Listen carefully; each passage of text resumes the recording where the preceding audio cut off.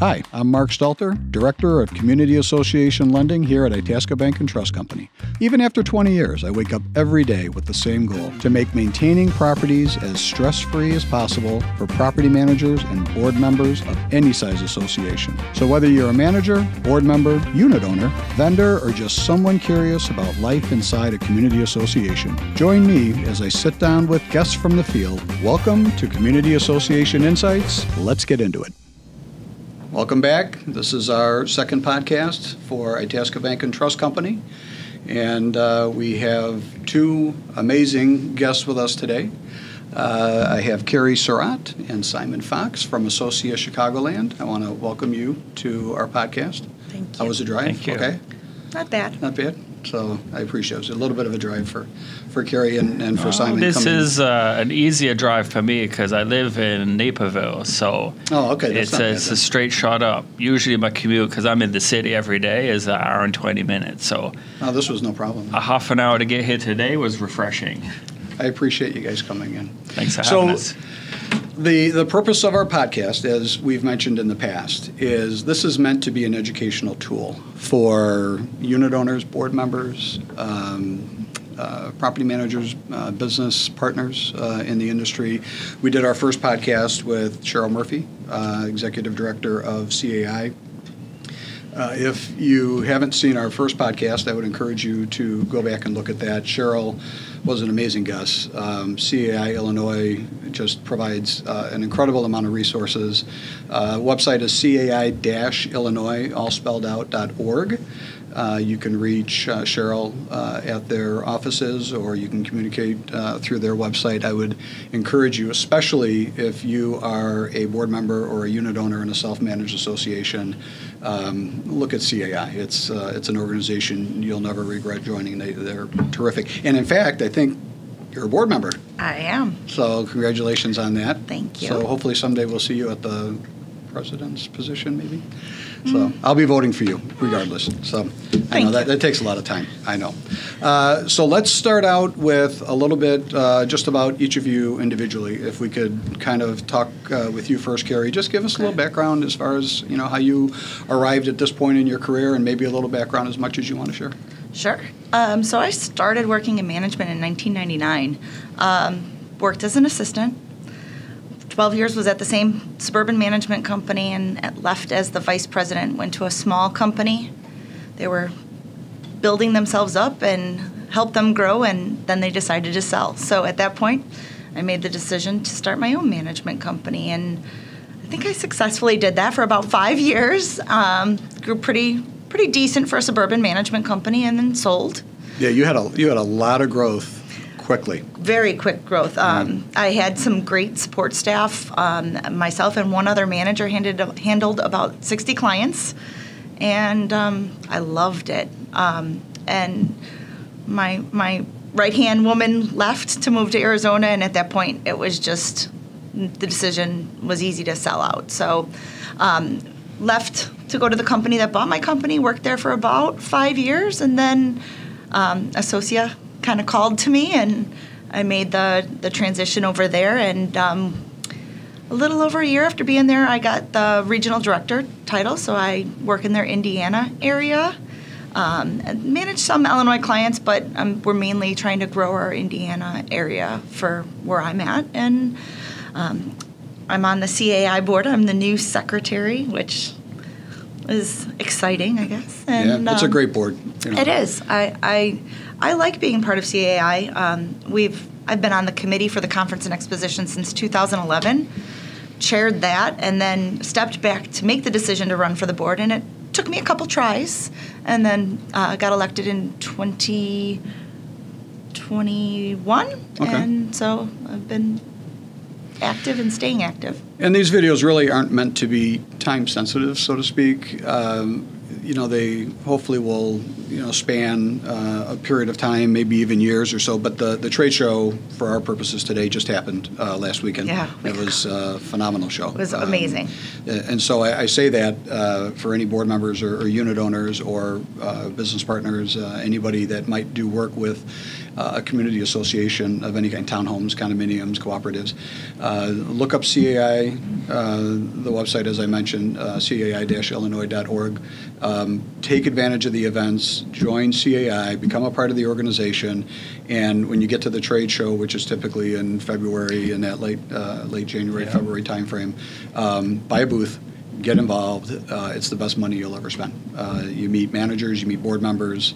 Um, you know, you and I have known each other 20 years. I was thinking Yeah, about it. You I know. I've, I've basically watched you grow up in property management, uh, and and you know, um, probably old enough to be your parent. So I could just say I'm so proud of what you've accomplished. You have such a unique experience. You started out working for a couple of firms and then took that risk. And I'm always jealous of entrepreneurs because they have uh, a mindset that uh, the rest of us just don't have. They're willing to take risks. They're willing to put the work in. You probably had a lot of sleepless nights. You know, you're making payroll, all that stuff. So you, you leave working for somebody very safe, paychecks coming on Friday.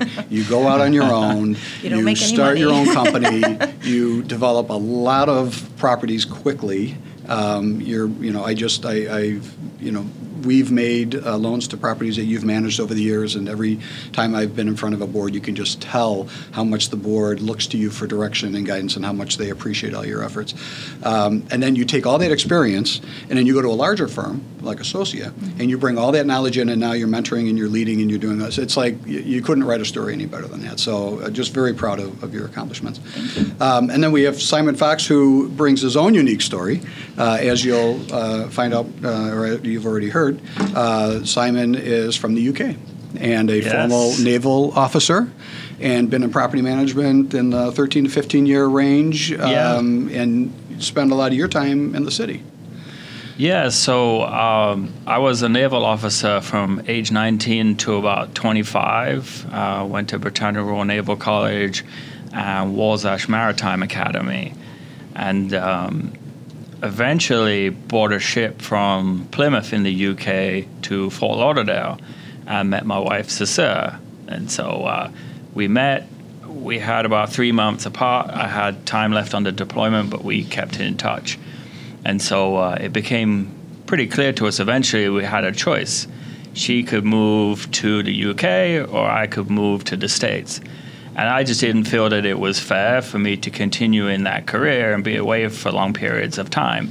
And the uh, idea of moving to sunny South Florida was quite appealing. Not the worst thing in the world. No, so uh, we we eventually moved up to Chicago. Um, I really moved. Sorry, I really missed having four seasons. Um, what got me into condominium association management, though, was a dinner with one of her law school friends. Her husband at the time managed a high rise in Aventura in Florida. And uh, he was curious about how you manage a ship.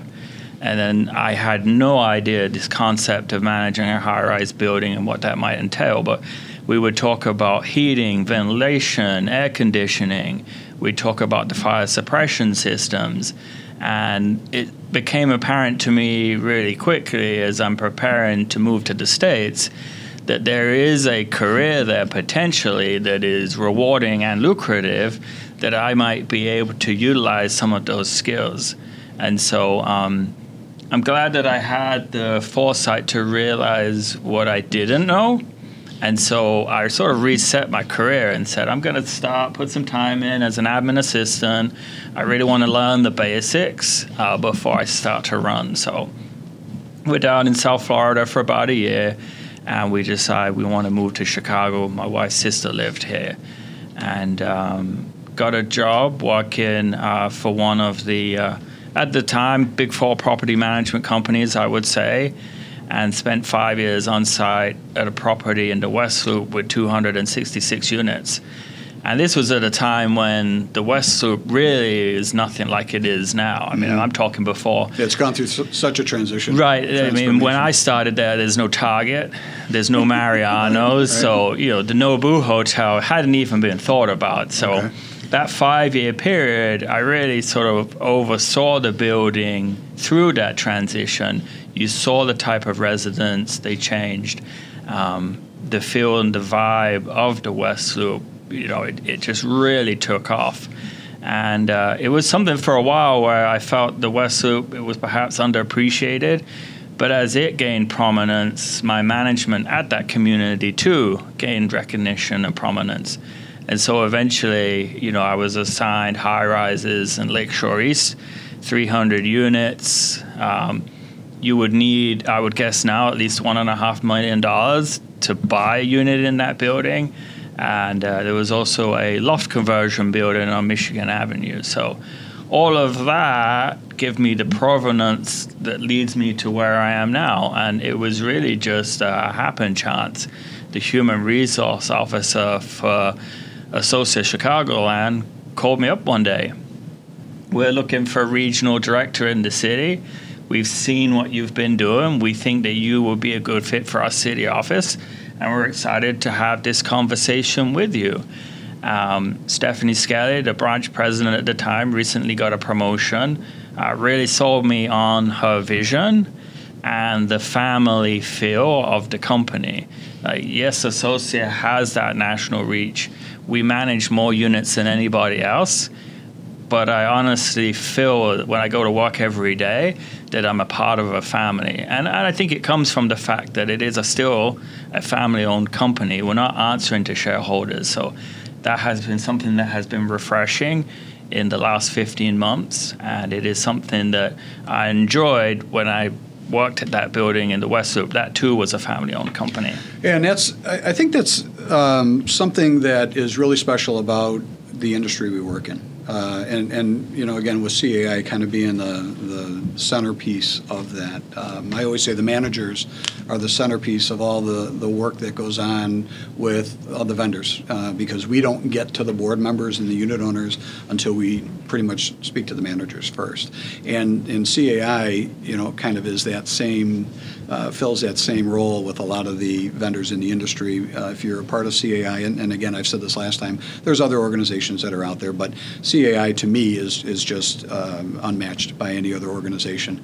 Um, so it makes sense because we've all probably seen people in the industry that uh, the next time you see them, they got a different badge on, uh, Yeah. working for a different company, Yeah. and, and that's okay. I mean, people, you know, they go through their careers and they hone their skill and they get opportunities. And, uh, you know, I've even seen just with my competitors, I've seen bankers become managers and I've seen managers become bankers. Yeah. Uh, so it, you know, it certainly does have uh, that kind of an impact on our on our career. So, and I do want to talk a little bit more about Associa uh, once we get a little bit further down down the road because it is uh, an incredible company, and I want to kind of let people know uh, a little bit more about it.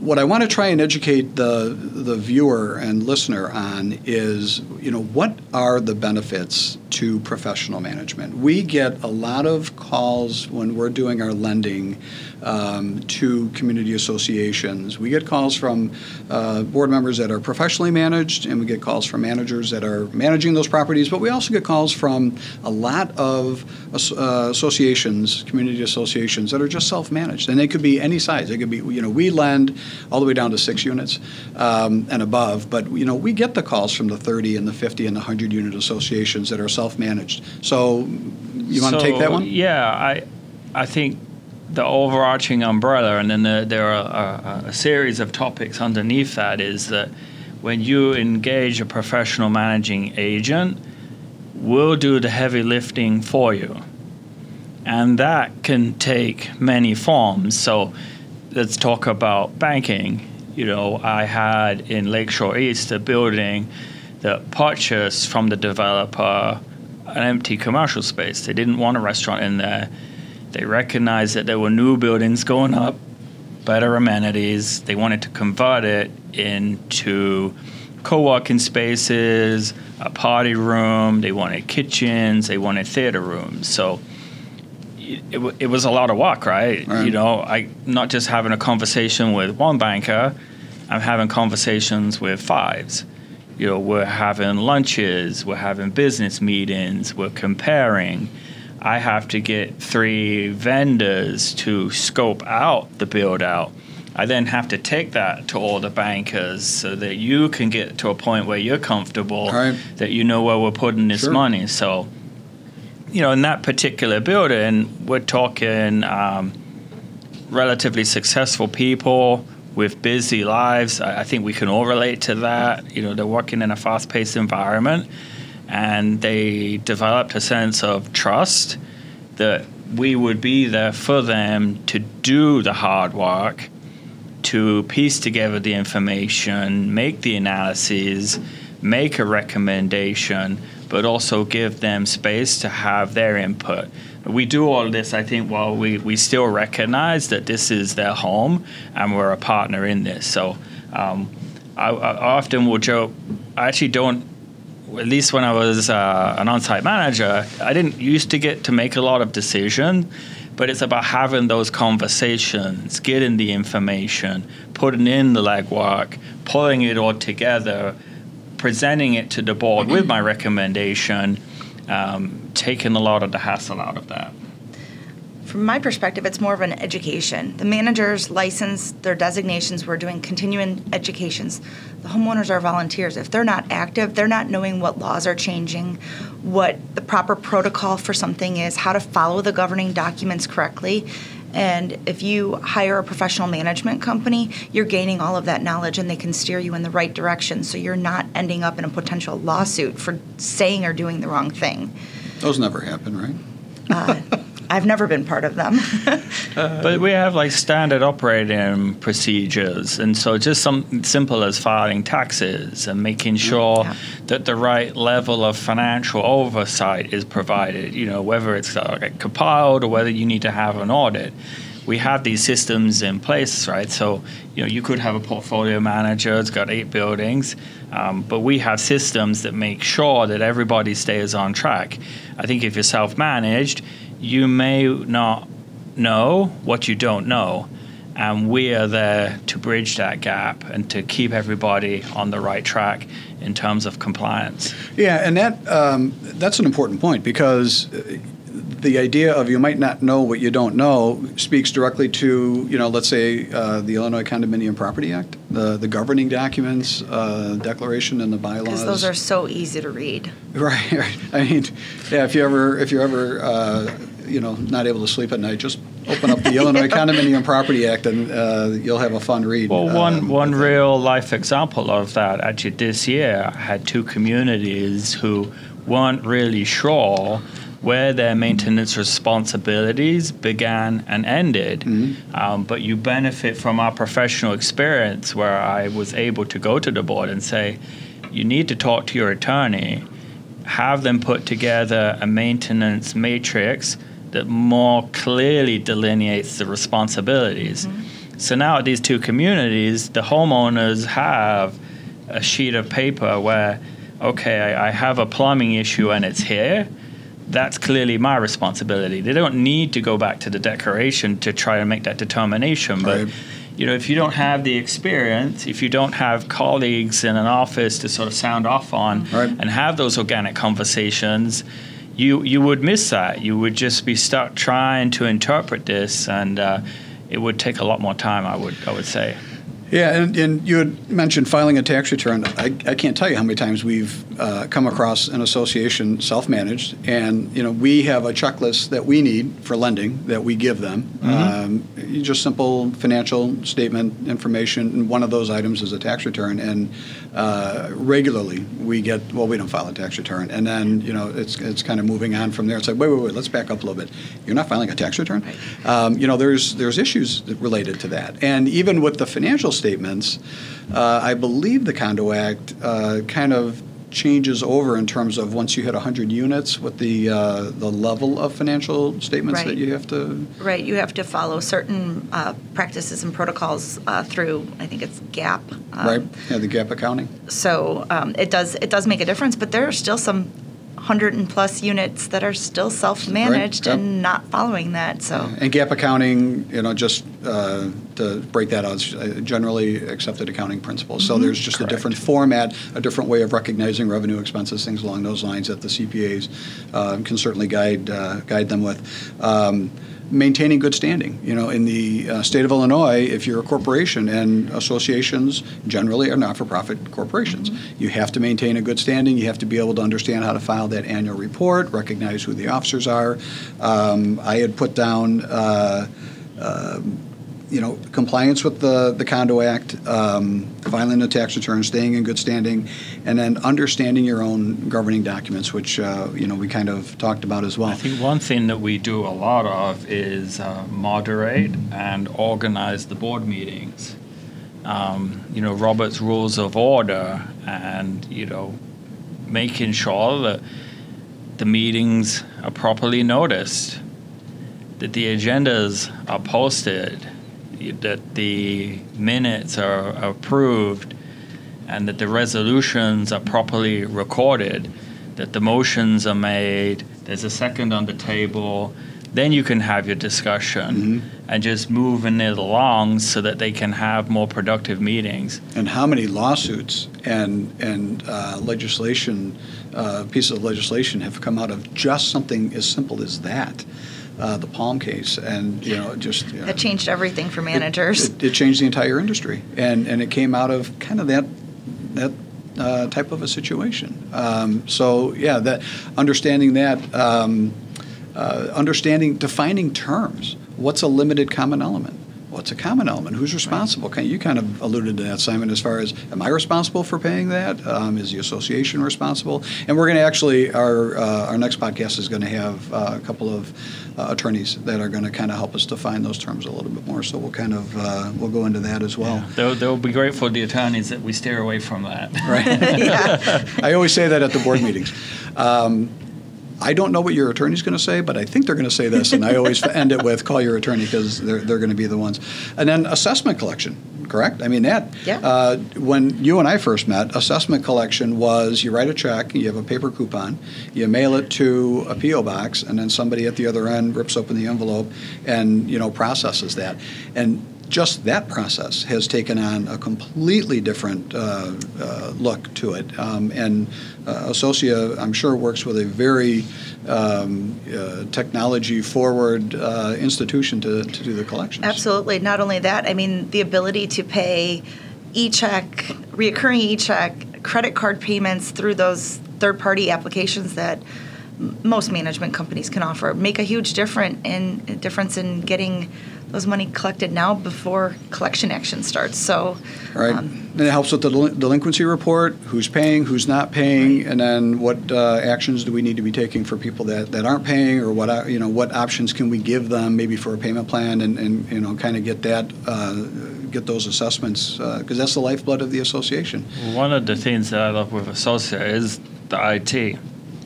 So what we have is a platform called Town Square, and so you can have an application on your phone, which you know I think about when I got into this industry was almost un, un sort of thought of at the time.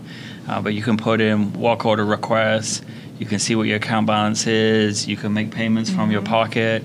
Uh, there's just so many um, useful ways to, to make those payments and, and to keep yourself appraised.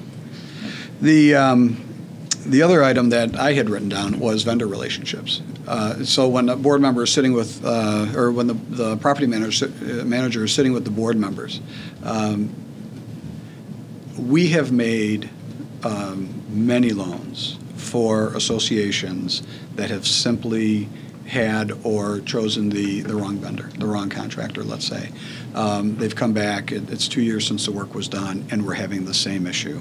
Roof repairs, you know, siding, there's uh, water that's uh, getting involved. Um, a manager who is experienced, such as the two of you, you've worked with vendors, you've worked with the contractors, you've worked with Yeah. uh, you know everybody in the industry. You can sit down at a board meeting, and when you're looking at those three uh, bids that you have to get, you're able to give the board your experience and say, look, I've worked with this firm or this company. This is a top-rated company. They've done really good by us in the past. That uh, happened to me uh, this month. Um, there's a master community in the Pilsen area that, that I work with, and uh, they had engaged a um, landscape consultant. You know, they're, they're looking to um, improve, and there was a list of vendors that the landscape consultant had prepared. And in advance of me reading the report, I had three or four vendors of my own that I had sort of penciled in. And the report that they had and my recommendations were the same. And for that board, the sense of comfortability then just increased. You know, you have somebody who's been in the city for 13 years doing this. He understands that these are the right providers for us, but independently, they've engaged this landscape consultant professional. And so it really gets people to a point where they're comfortable with the decisions that are, that are being made. And to, and to further define our terms, because you had kind of mentioned, you know, the master association, and, and in a lot of community associations, uh, there will be uh, perhaps uh, well multiple different individual, let's say, condominium associations, and even perhaps mixed with a condominium and a townhome association. And there are uh, situations where you can't really delineate between where one association's land, the physical property, stops and another one begins. And so uh, a master association might take, uh, uh, let's say, a, a suburban townhome association where there's six different associations, but they share a clubhouse or they share the pool. Um, or, you know, downtown where you might have a, a condominium building surrounded by some townhomes. And again, they're sharing some of those elements that the, the amenities uh, and the master Yeah. association doesn't necessarily um, uh, manage one particular building. They manage everything outside of those buildings that Right. uh, the amenities that they would take uh, Yep. advantage of. Would that be a fair Yeah, uh, that, that is fair, yeah. Okay. Um, and so there's diff- there's definitely differences between management management firms, right? Uh, and and as much as I'd like to say Associa could handle every association out there, I think it's a fair statement to say that there are just some associations, especially uh, smaller self-managed associations, because I get these calls, and uh, they might want your former firm that you had, right? You probably had a tremendous competi- competitive advantage where it's like, look, here's my cell phone, I'm the owner, call me. And, and you probably pulled a, a fair amount of business over just based on, on that. Whereas uh, a larger firm, Associa and some of the competitors, you provide uh, an incredible amount of technology, and you probably have, I would think, a sweet spot in terms of what you're looking for in terms of a, a city or a suburban uh, property management. But what are some of the, the differences uh, that you've seen over the years between management firms? I think a lot of it's technology. Um, what what they can offer their clients.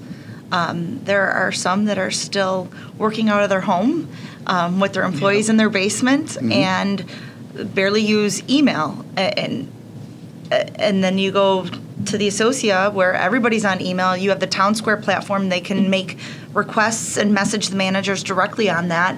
Um, I think that affords you know a lot more access to the managers, which is a double-edged sword sometimes. Um, but we're there, you know, to help out when we can. And I, I and I would think say there's that probably there are- philosophical differences too, right? Yeah, I mean, there are companies out there that are directly answerable to shareholders. All right. And the culture e- exists and, and it's recognized that they have shareholders to answer to. Um, but then at a Associa, as a family managed and owned company, there's a, a difference in, in the philosophical approach.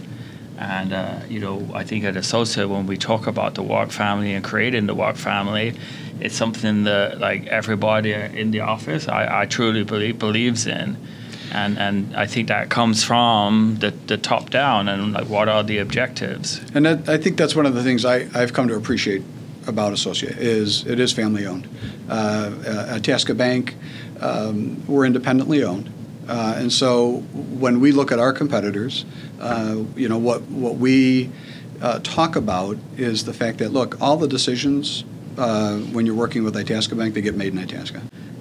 Yeah, so some of the differences between the management firms out there are the products that they offer.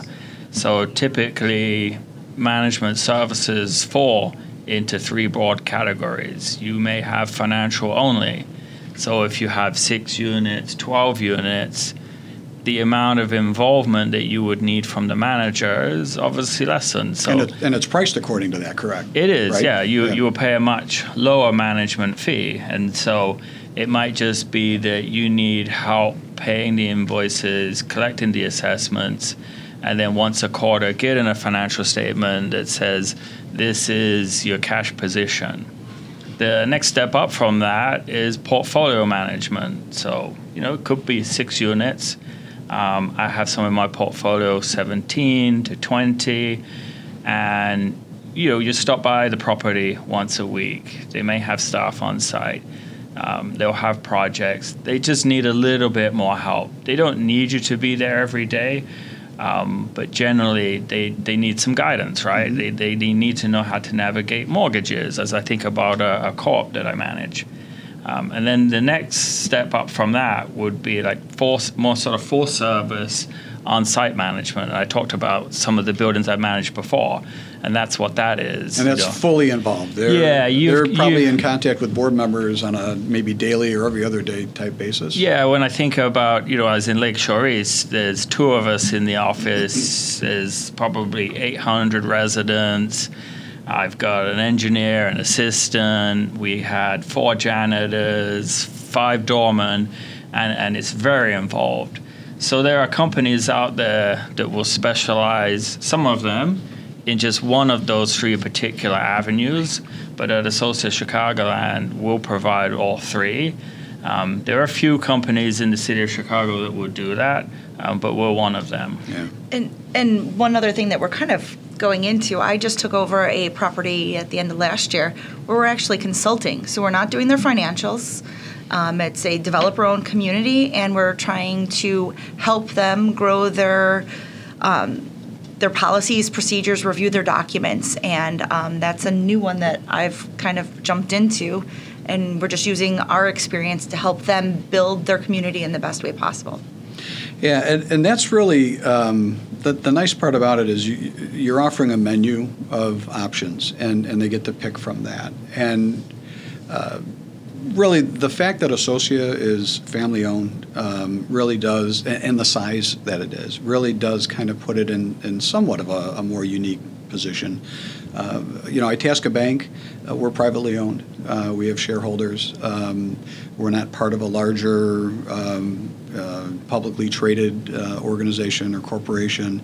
Um, and I think the similarities between the two companies is decisions get made locally, decisions get made quickly. I couldn't agree with that anymore. Like And- we have a large shared service center that does what I consider a lot of the heavy lifting in Texas.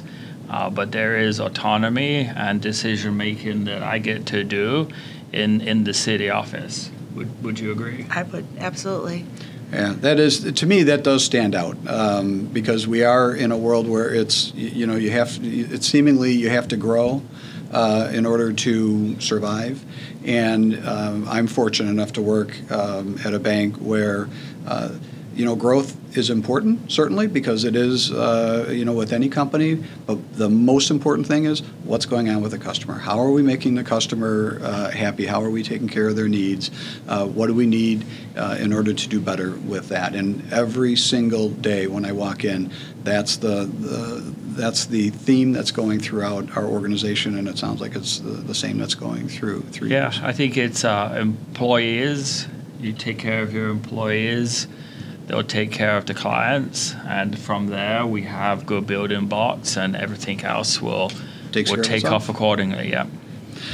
So if, and the reason, you know, the two of you um, are um, so um, well positioned uh, on the show today is Simon, you, you tend to be more in the city, and Carrie, you tend to be more in, in the suburbs. Do you see differences or challenges that face a manager uh, with a city property versus a, a suburban property? We were talking before this. I, there, there are things within a city building that we were talking about that uh, plumbing. they, they can't replace a cast iron pipe without a union and without replacing with a cast iron, and I just had one done, and we've replaced with PVC, and I'm going, wow, you Yeah. know what a difference. And I, I think Chicago itself rules on its own. Right, So right. what we I- might follow in the suburbs is completely different in the city. I think uh, Chicago, if I was to generalize, has a tendency to exercise its home rule.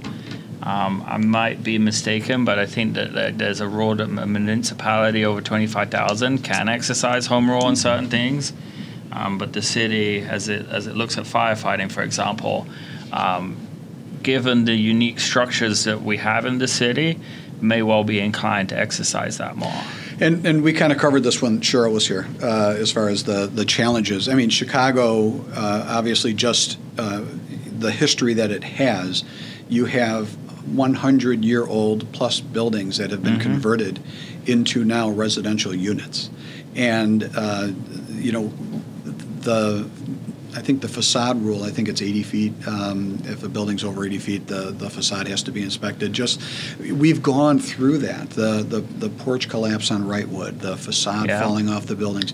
Um, you know, these are all things, and I think if, if any of the, the leaders or politicians from Chicago were here, they'd say, look, we have problems that are unique to a large city, and they need to put into place protective measures um, to try and, and keep the unit owners safe. Uh, you know, so it's just the nature of the. I think a lot of it's the age of the buildings. I They're- think the city has done a good job of putting in like those proactive measures, and uh, there's been a real big focus lately on energy benchmarking and making properties, you know, more fuel efficient. Yeah. And uh, you know, there'll be more changes to come with that. You know, there's there's talk at town hall about EV charging legislation. That that'll be the next big thing that I think a lot of us will be uh, discussing. The subs- suburbs don't have any of that. I, I I find now managing in Indiana, that's a whole new ball game out there. Um, the laws that are in place in Illinois, Right. the collection laws alone, Yep. are beyond what Indiana has. And I thought at first Illinois was kind of strict on them, and now I'm thankful for those because they allow you to take action against a homeowner. Exactly. Yeah, I, I had a uh, a manager that was telling me, you know, don't worry about the hundred year old buildings. Uh, those are pretty. Those were built like tanks. They were built really well, and, and they reference. I'm not going to say, it, but they referenced a time frame when they thought that the the materials that are used and whatnot, you know, may have changed, and, and the, the quality wasn't quite there. Um, but it's those inspections the city and the suburbs take to make sure that the the buildings are um, sound, so that we don't have uh, issues uh, that other cities have faced. Yeah, I think we have things in the city that the suburbs don't, such as like union presence. I mean, there are unions obviously in the suburbs, but um, you know, a lot of the high rises. If I have uh, engineers, janitors, and doormen, um, the properties that I've been at, more often than not, those those will be unionized, and uh, you know, you might have plumbing repair work to be done. You know, and you talked when we discussed earlier. Uh, you know, it might be PVC, but for us, it'll be copper Sure. and um, you know it's a particular skill set that you know the local plumbing union's very good at.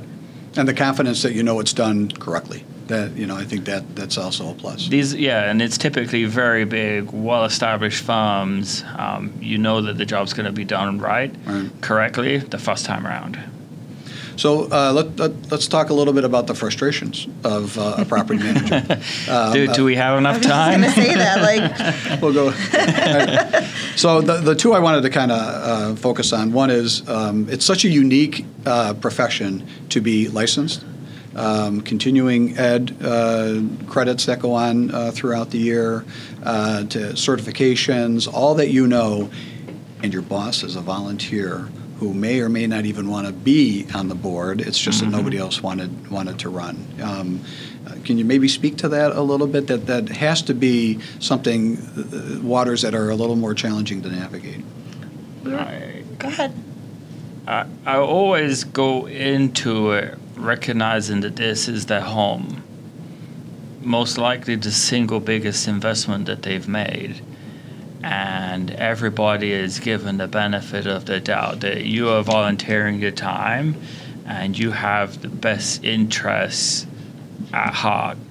so I think as a as a regional, as a manager, wherever you are in your community association career, if you can go into these um, conversations with that in mind, it's going to hold you in good stead.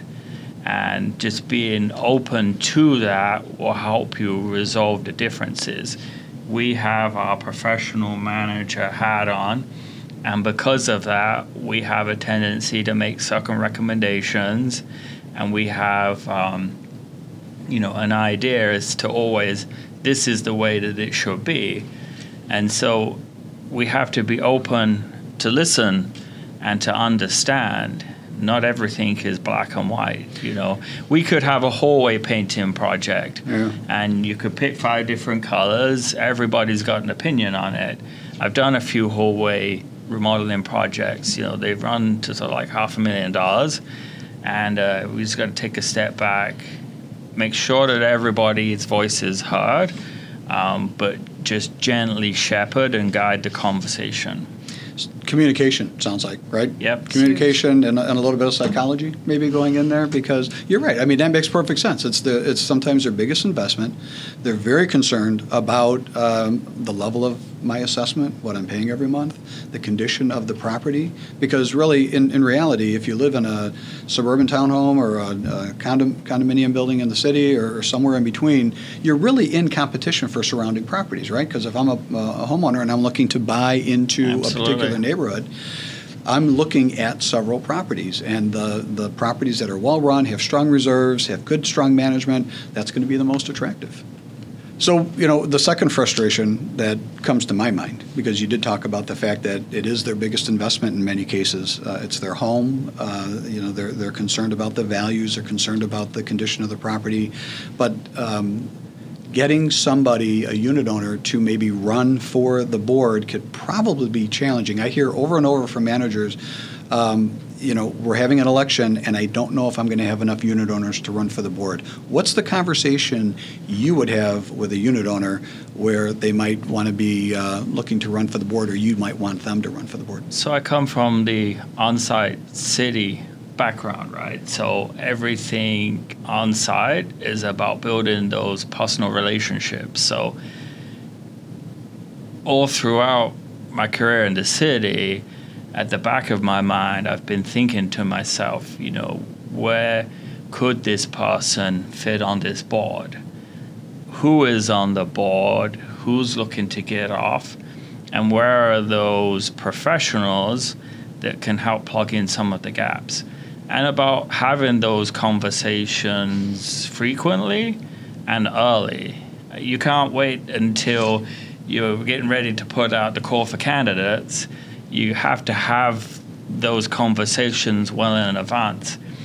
And there is often a hesitancy to want to jump in. Right? They're jumping into the unknown. They're busy. Maybe they've got families, professional careers, everything. And it's really just like what I can do as a manager to help ease the burden for you. Um, as a treasurer, there are things that, as a professional management company, we will do that will make your role as the treasurer easier. Right. We will help you It's meet your partnership, yeah. We will help you to meet your obligations Sure. much better than if you were just on your own. Right. E- even as the treasurer, uh, sorry, the, the secretary, right? They're responsible for making the minutes. Um, but there have been times where I have said to a new secretary, I'm going to show you, like sit next to me in the meeting. Right. I'm going to show you how I take my notes. Right. I will then draft this. I want you to draft it as well, and then we'll compare it. So it's just about conversation, relationship building, education, and allaying those fears. Like, we're here to support you, not to make this more difficult. I realize that there's only so much that you can give. I'll take everything that you want to give, um, but I'm not here to burden you. Right. Yeah, the, fear of the unknown, and and once you get the person comfortable with the role that they're they're filling, you know, now it, it really does become that partnership between the, the board member and the uh, and Absolutely. the, uh, the the manager. Um, I wanted to, to give some uh, time here at the end to Associa, and and they have what makes Associa a little bit uh, unique. You have this charitable arm to the management firm, which uh, I've, uh, I've, I've witnessed this in the past uh, at, at various uh, company functions where you've invited vendors in, and there's, um, I just find it unique. Um, it's called Associa Cares, uh, and uh, I, I was doing a little bit of um, uh, research uh, on that. And on the website for Associa Cares, it says it's a charitable affiliate of Associa. It is a 501c uh, with the goal of providing financial assistance for people who lose their residence due to natural or man-made disasters. And the thing that struck me the most is, as I was going through the Associa Cares uh, portion of the website, you don't have to be managed by Associa Yeah. to benefit from Associa Cares. And, and to me, again, that just shows the, the management firm departing from the, we could just monetize everything. You know, we could just, how do we make a dollar? How do we, you know, uh, improve our bottom line? Um, that says we care about not just our unit owners, but we care about community associations. So if you're listening or watching uh, the podcast today, uh, we're going to put a link to Associa Cares on the on the podcast. Uh, you can learn more about it. Uh, if you decide you want to donate, it's a 501c. You can donate, um, but you know I guess the most important uh, item for me is to just learn more about the fact that this is a management firm that goes beyond just managing. Uh, the Associa Cares uh, part of uh, Associa just tells me that you care really about the unit owner, and it doesn't necessarily even have to be somebody that uh, that Associa is uh, is managing. Um, anything that I've missed today that you might want to uh, cover, or you know, can we uh, educate our unit owners or viewers in any way that uh, you might want to bring? I found this to be a rather rewarding career over the years. I, I've really enjoyed the sense of helping homeowners um, improve the value of their homes, uh, protect their money, and provide them with the lifestyles that, that they envisage. And um, we often joke as managers that it's a career perhaps that we fall into accidentally. Um, so maybe you're listening to this podcast. Maybe you are a community volunteer. Maybe you live in one of our managed communities or, or that of a competitor. But I would say to, to give this an honest look. It has been very rewarding, and I look forward to doing this for, you know, many homeowners, many community associations for many years to come. So, how do they find you?